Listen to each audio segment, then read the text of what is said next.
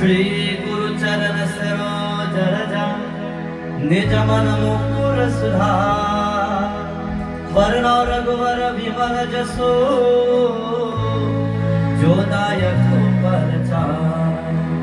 बुद्धि सुमिरो पवन कुमार बल बुद्धि विद्या देवमुही हर विकार और सुन हनुमान की जय।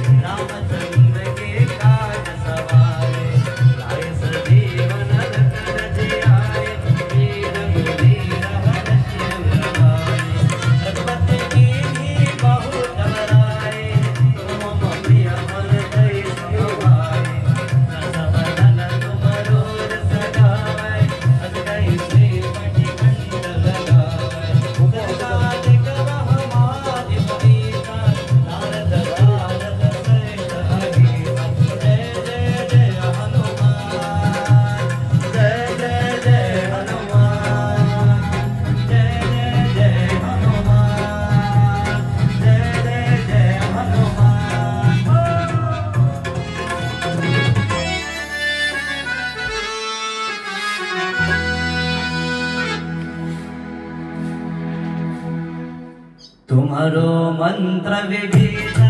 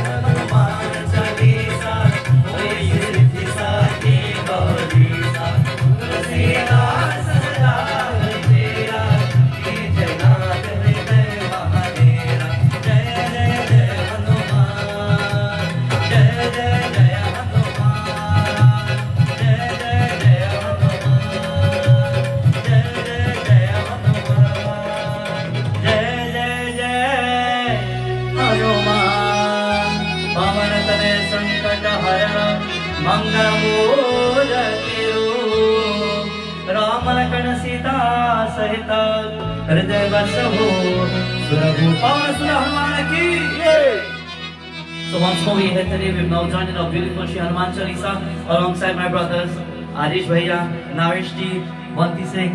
Special blessings to each and everyone to all those who've tuned in today on this most beautiful, as we say, episode of the Shri Hanuman Chalisa. All the Sutta Hanuman ki Jai!